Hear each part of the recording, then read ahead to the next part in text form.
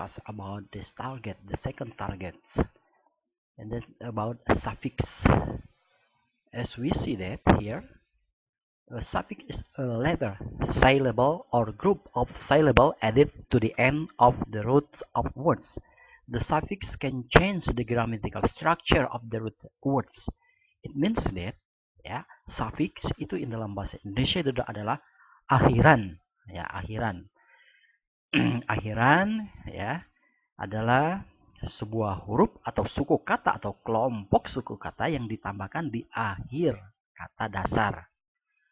Suffix atau akhiran dapat merubah struktur secara gramatika dan dasar dari kata tersebut. Maksudnya di sini akan berubah strukturnya dan maknanya di sini. Kita lihat di sini ya, contoh ini banyak sekali dalam bahasa Inggris itu untuk suffix akhiran itu tidak seperti dalam bahasa Indonesia ya. Bisa dihitung kalau di sini banyak sekali ada akhiran ability yang menyatakan adjective.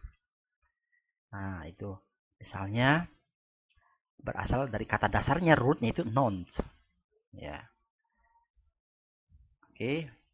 Original ability uh, menjadi capable ability dari kata capable I'm capable to do something.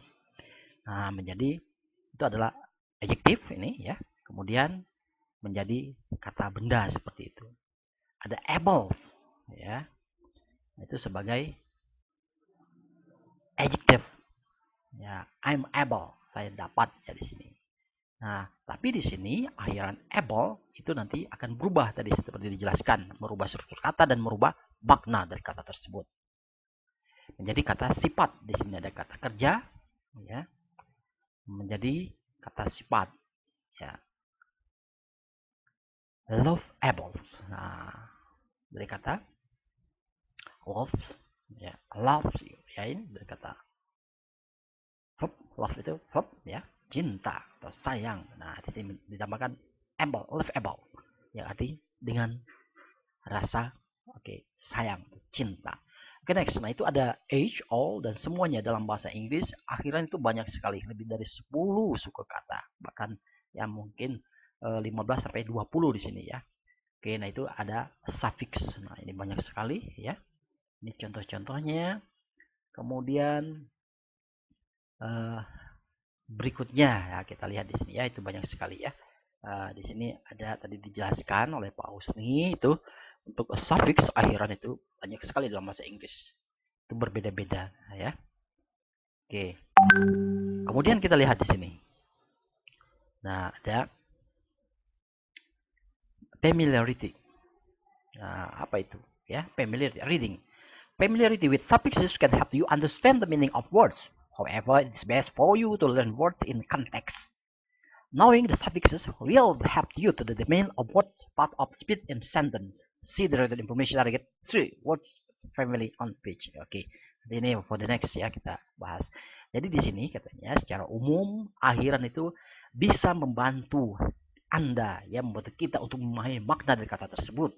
Namun katanya ini lebih baik katanya kalau Anda belajar kosakata tersebut dalam satu konteks ya atau kalimat. Mengetahui dari akhiran itu akan membantu Anda menentukan apakah kata tersebut ya termasuk ke dalam kelompok kelas kata dalam kalimat apakah kata kerja, kata benda tadi seperti dijelaskan di atas ya. Oke, kita lihat di sini. Nah, ini contohnya ada problem. The suffix doesn't match the required part of speech or the meaning of the root doesn't match to the context akhiran katanya tidak bisa katanya disesuaikan atau dipaksakan untuk disesuaikan dicocokkan dengan kelompok kelas kata atau makna dari kata uh, dan tidak bisa katanya di uh, dicocokkan dengan konteks. Ya di sini maksudnya di sini. Jadi kita tidak bisa membuat ya uh, sembarang akhiran itu. Ya misalnya tadi ada dari kata kerja love menjadi kata sifat lovable. Dipaksakan menjadi jadi kata benda love it tidak ada ya itu harus sesuai dengan tadi standar atau uh, bentuk tadi uh, formulations of English. Yeah, part of speech kalau katanya. Well nah di sini kita lihat contohnya ya. Uh, examples ya. Nah, ada solutions suffix and verbs nanti memilih uh, yang mana yang tepat ya akhiran uh, dari kata dasar di sini. Example incorrect. Nah ini kata yang salah. Check the schedule to see how frequency the train runs nah, nah yang salah yang mana di sini? How? Frequency. Seberapa sering? Ya. Kereta itu nih berangkat. Yang benar katanya di sini adalah check the schedule to see how frequently trains run. Nah, ini ada artinya di sini. Setelah how ya kita di sini kita lihat di sini. Nah, secara uh, sintaksis itu analisisnya. You understand ya. Nah, ini sebagai you itu subject kemudian check the schedule to see how frequently the trains runs. Nah, di sini ada subject, check the verb, Kemudian ada the schedule. Nah, ini sebagai non phrase ya. Schedule jadwal to see. Nah, itu sebagai infinitive to infinitive. How. Nah, how conjunction sebagai kata sambung di sini. Frequently ya sebagai adverb. Nah, ini keterangan the trans run itu non phrase ya. Non phrase dan verb. Dari kalimat ini kita lihat bahwa ya. Jadi uh, seberapa seringnya nah ini ya bukan how frequent ya eh, seberapa sering tapi di sini frekuensi sebagai uh, kata uh, frekuensi itu sebagai noun benda tapi kalau di sini sebagai keterangan menerangkan ya seberapa sering kereta tersebut berangkat ya uh, lepas landas dari eh, stasiunnya ya berangkat ya oke okay. Oke, nah di sini penjelasannya katanya frekuensi is noun. Nah, tadi di sini tidak bisa katanya seberapa sering. Nah, di sini harus ditambahkan keterangan frequently, frequently bukan frekuensi. Frequency is noun formed by adding frequency. Ya, dari frequency, frekuensi ya. Uh, to the adjective, nah untuk kata sifatnya frequent. The sentence requires an adverb. Nah, kalau kalimatnya memerlukan adalah menerangkan keterangan seberapa ya seberapa sering maksudnya ya itu jadwal keberangkatan kereta tersebut. Nah, jadi di sini yang tepat adalah menambahkan frequent ya frequently ya give us adverb frequent menjadi frequently. Oke, nah itu contoh dari suffix akhiran. I hope can you understand. I hope that you understand ya uh, my explanations yours about the suffix. Nah, itu banyak sekali contohnya di sini. Ini ada juga katanya kalimat yang tidak benar. The content was terminated because of the effectiveness. Uh, yang correct, the accountant, the accountant, ya, accountant was terminated because of her carelessness. Ya. Nah, ini dari kalimat saya sudah tidak benar di sini, ya. Nah, di sini apa uh, akuntansi ya, hal yang uang yang meng, meng, mengurusin uang katanya. Dan because ya, effectiveness. Nah, mereka karena di apa term, diakhiri maksudnya mungkin di sini dia dipecat ya karena tidak uh, bukan effectiveness. Masa kalau ada orang yang kerjanya aktif, efektif itu dipecat ya itu nah itu sudah tidak it's reasonable dalam kalimat ini ya. Nah, yang tepatnya adalah karena kelalaian dia bekerja mungkin menghitung satu rupiah kurang ya akhirnya uh, dia dipecat nah, jadi yang tepat the content was terminated because of her carelessness jadi di sini uh, dia dipecat karena ceroboh ya mungkin ya. Tidak satu kali dua kali. Nah ini ada dari nurse di sini itu sebagai suffix. Oke nah di sini ada exercise part 3 incomplete sentence as we have discussed at the first time that you have to answer this question ya into the right order A, B, C, or D. Nah, di situ kemudian ada text completion. Ya ini ada suatu bentuk letter of applications ya atau dalam informations ya. Nah, nanti you try to answer A, B, C, or D ya multiple choice questions. Nah, all of these uh, answer are uh, suffix suffixes ya. Nah, you try to find the right the correct suffixes ya uh, akhiran yang tepat oke okay, nah and then ya yeah, this is part 6 ya pada page 39 ah 39 that becomes one of the assignment your assignments. Okay part 6 I remember that this part 6 you have to answer the question. Yeah there are three question multiple choice. Well the conclusion is uh, the suffixes yeah in english there are many kind of suffix in english yeah. Not only like in indonesian language uh, akhiran itu an ya. Misalnya makan makanan atau akhiran dengan i ya. Jauh jauhi ya. Tapi in English tadi itu there are many kind many many kinds of form suffixes ya. Ada yang bentuk able ada yang bentuk ness dan sebagainya. Oke. Okay. uh, eh, target tree nah berarti ada words family nah tadi dijelaskan gitu uh, kalau word family itu apa di sini ya jadi seperti words family itu sama dengan apa uh, uh, parts of speech ya kelompok kelas kata di sini. Kita lihat di sini. What families are created adding by adding ending two words. This ending will change the word into a noun, verb, adjective, or adverb. Jadi kelompok uh, kelas kata ya di sini dibuat katanya dengan menambahkan akhiran pada kata tersebut. Nah, akhiran itu bisa berubah katanya. Bisa ke dalam bentuk benda nanti jadinya atau benda sifat atau keterangan ya Oke, okay, next ya. Kita lihat di sini ada commons word ending. Nah, itu ada ends ya. Ini seperti akhiran ya, ya. Nah, tapi di sini word family yaitu katanya di sini masuk ke dalam word family ada ends, ends, ends, Asian, ian, ism, is, ships, or ya etc dan sebagainya. Nah, ini ada common word family. Oke, okay, sini misalnya take for example ada common word family ya. Di sini ada applications. Nah, ini dari kata misalnya application, kata benda di sini ya. Jadi applicants. Nah, ini beda lagi. Ini ini lamaran ya. Kalau applicant orangnya pelamar, apply melamar, applicable itu dapat ya melamar seperti di sini. Oke. Nah, ini contoh-contohnya di sini uh, ada kata misalnya negotiations. Nah, itu dari kelas kata kata benda. Orangnya ini kata benda juga negotiator ya, negotiator itu orangnya. Kemudian berubah menjadi kata kerja, negotiates. Dan berubah menjadi kata sifat negotiable. Nah, itu yang disebut dengan word family, ya.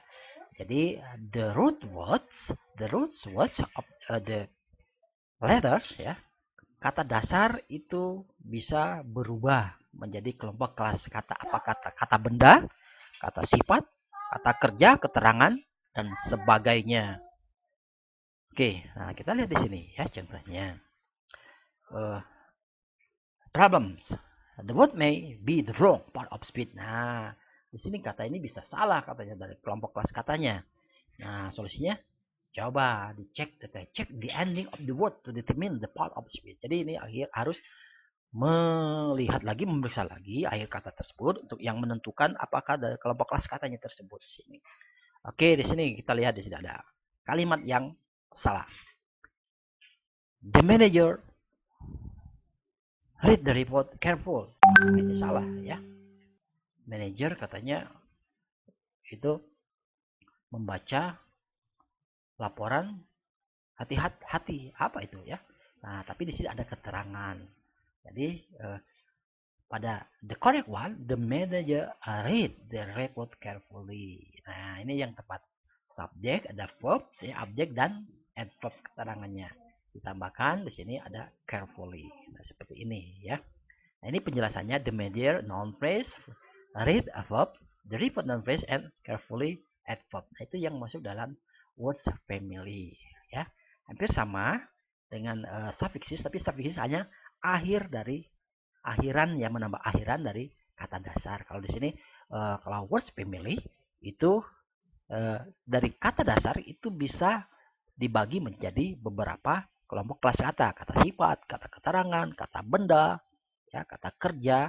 Nah, itu merupakan words family dari misalnya kata dasar. Tadi seperti contohnya yang kita lihat di sini misalnya ada careful, carefulness, carefully, ya.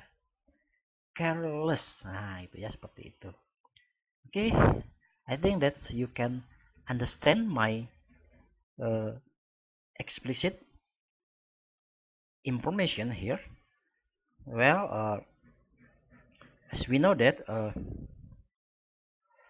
you have to uh, do you have to do of the assignment here. Nah ini ada exercise assignment and then try to answer this question according to words family. Okay. We'll see that here.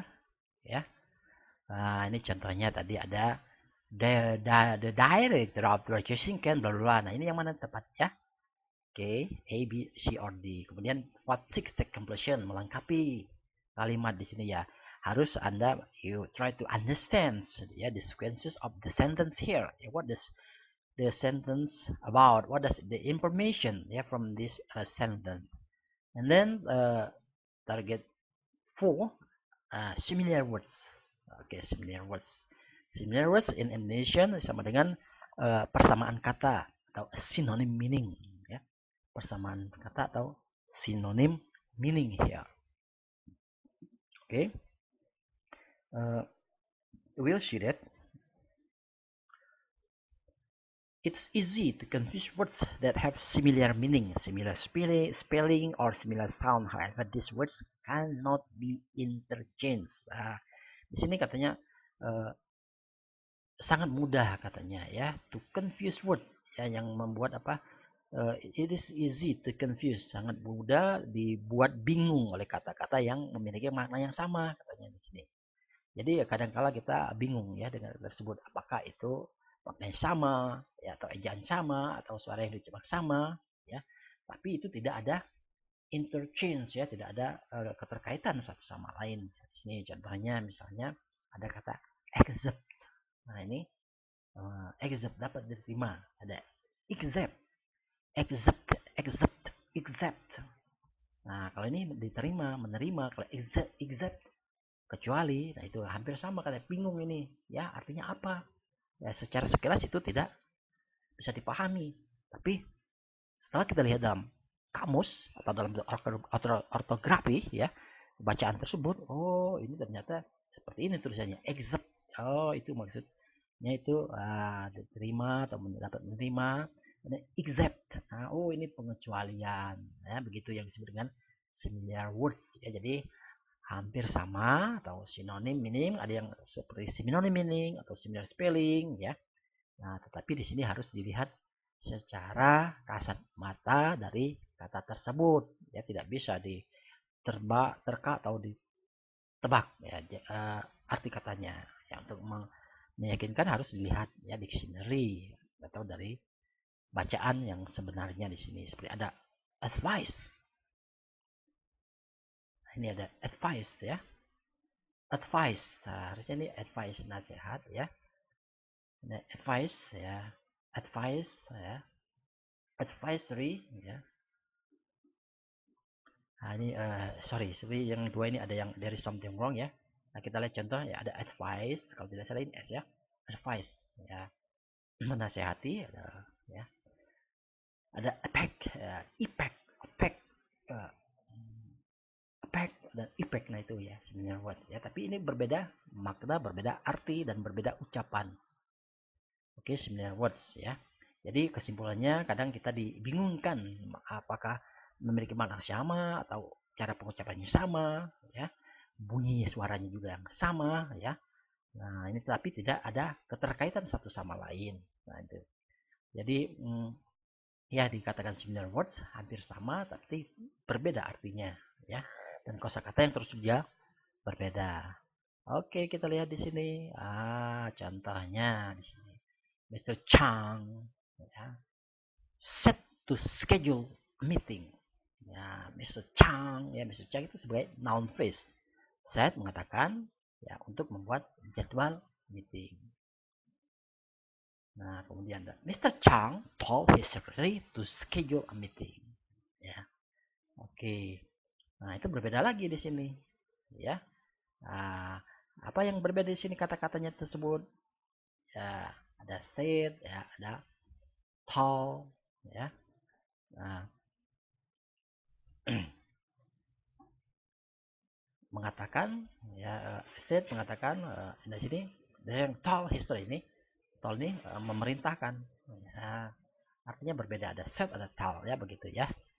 Oke okay, I think ya itu sebagai similar words. Nah ini contohnya ada incomplete sentence. Jadi you try to uh, answer ya answer this questions.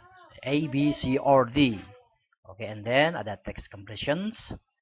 Ada ya di sini like a letter here okay i think yeah.